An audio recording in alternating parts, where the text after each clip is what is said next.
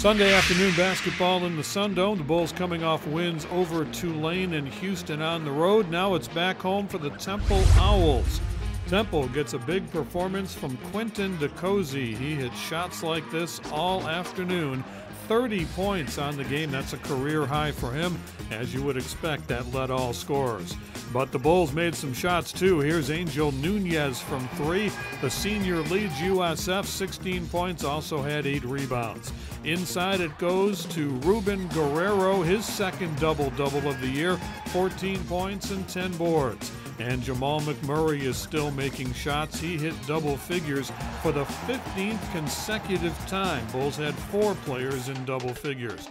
DeCosey with a nice job again, taking it inside this time. And we go to the break with Temple up 4, 35 31 at the half. Second half action now. Here's Nehemias Morillo taking it in for the two. Temple shot the ball well in this game and they protected the ball well also. The Owls had only five turnovers in the entire game. Bulls won the rebounding battle 38 to 26.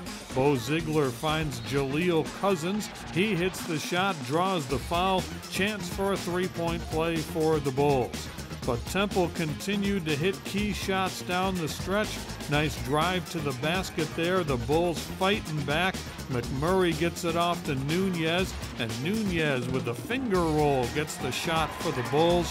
Finally, though, it was DeCosey again, a long three pointer, and Temple goes on to the win. The Bulls only went seven deep again in this game, only two points off the USF bench. Quick trip to Cincinnati coming up next. Bulls at home on Sunday afternoon at 2 against SMU. Final score Temple 70, the Bulls 63. For Bulls Cast, I'm Jim Louk.